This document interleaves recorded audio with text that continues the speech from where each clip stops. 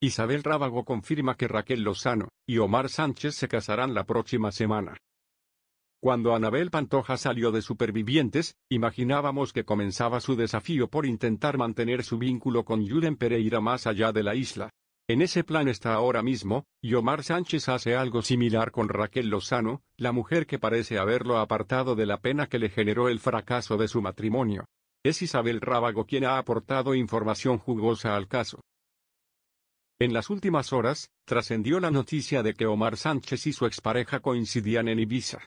Él vacaciona allí con Raquel Lozano, mientras que ella hace lo propio con Julen, pero no imaginaban que un día hasta coincidirían en el mismo sitio. Aparentemente, tanta conexión enfadó al esgrimista y desató en él una escena de celos. Producto de la situación anterior, el surfista ha estado en contacto con los medios, algo que no habría gustado para nada a Raquel Lozano. Ella aparentemente sintió que su chico estaba más interesado en las noticias que en sus días de relajo, de modo que protagonizaron un altercado que quedó grabado por las cámaras de Telecinco.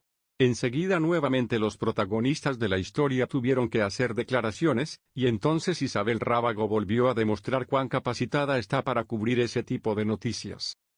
Tal como puede apreciarse en el material adjunto, Raquel Lozano le quitó dramatismo a la supuesta discusión, pero le aseguró a Isabel Rábago que no le gustará nada que Omar Sánchez tenga una comunicación tan fluida con Anabel Pantoja en el futuro. Ahora mismo entiende que tengan que intercambiar mensajes por todos los asuntos que tienen que resolver, pero no quiere que eso se mantenga para siempre. No le va a hacer ninguna gracia que hablen todos los días.